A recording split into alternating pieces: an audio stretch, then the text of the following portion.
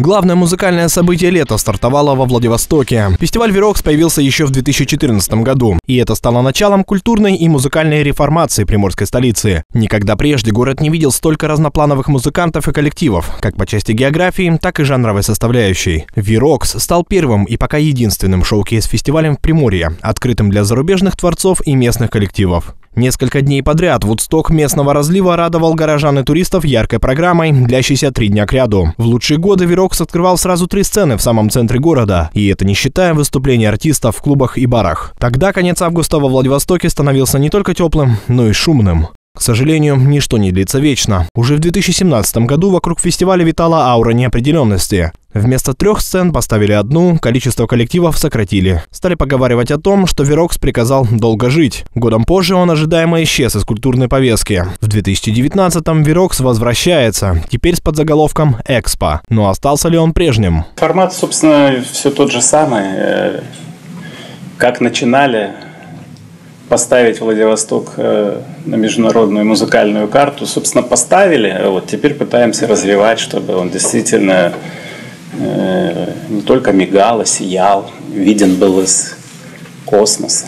Раньше про Верокс снимали целые фильмы. Сегодня фестиваль стал камерным, а формат приземленнее. Да, Верокс Экспо – это все еще попытка привлечь артиста и устроить шоу по-владивостокски. Только теперь без трехдневных гуляния сцены к сцене. Без атмосферы всеобщего праздника и вовлеченности каждого, даже случайного прохожего, никогда прежде не бывавшего на рок-концерте. Вместо этого фестиваль активнее сотрудничает с клубными и барными площадками. Слову, одной из них, баром «Мумитроль», владеет отец и создатель шоу-кейса. Илья Лагутенко попытался как мог объяснить причины такой смены ориентиров фестиваля. Нужно признаться, что а, из-за того, что фестиваль у нас абсолютно некоммерческий, мы не можем э, э рассчитывать на какие-то там продажи, да, привлекать крупные имена, поэтому мы рассчитываем только на свой собственный вкус и на свои собственные какие-то связи в мире музыки и искусства по всему миру. И вот э, буквально для того, что с каждым из артистов чуть ли приходится не,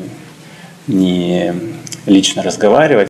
Впрочем, следует отдать должное оргкомитету фестиваля. В отсутствие гигантских бюджетов они сумели разнообразить начинку Верокса. Выставки, художественные ивенты, гастрономические вечера и даже спортивные мероприятия. Все это ждет гостей фестиваля и всех, кто предпочитает активный отдых. Ну вот, вот какие есть возможности.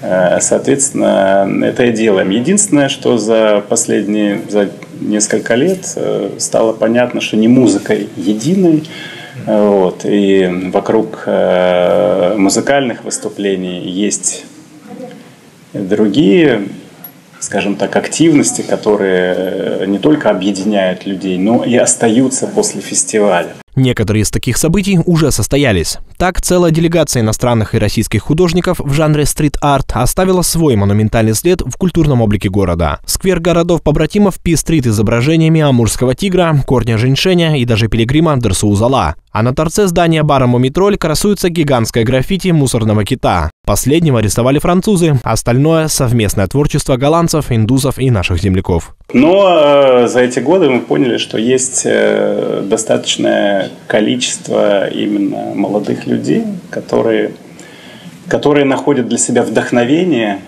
э, в этих трех днях фестиваля. И это до сих пор считается точкой притяжения для музыкантов, не побоюсь сказать, со всего мира. За целый год без фестиваля «Верокс» приморская столица успела соскучиться по музыке. Фестиваль вернулся, пусть и не такой масштабный и чуть менее международный, но все же он сможет порадовать, а где-то даже удивить жителей и гостей Владивостока. С 21 по 23 июня площадки шоу-кейса открыты для всех, кто прошел онлайн-регистрацию. Евгений Черемухин, новости на восьмом.